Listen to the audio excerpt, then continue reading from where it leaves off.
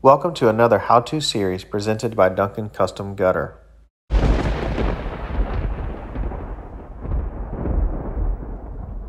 These are your, your tools to get this going.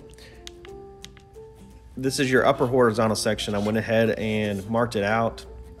Uh, essentially what we've done is pulled from this corner to here, six inches. We used our miter template to trace out an inside. Anything from the left of the edge is called an inside. From our upper point to an inch and a half to 45 degrees and then straight 90 degrees up.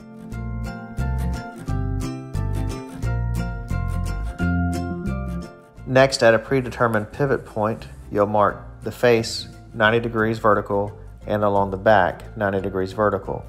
Don't mark the bottom as this will be exposed to the homeowner.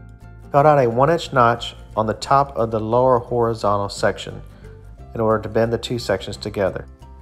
You'll see how the tab was folded down and that tab is there for when the water comes out, it goes around rather than inside of the gap that's in there. Um, you know, whether it's a small hair thin line gap, which in this case it's very minimal, um, or not, give the water best chance of getting out. And here you'll see a completed product uh, with the valley shield in place and I'll show you how it looks on a house.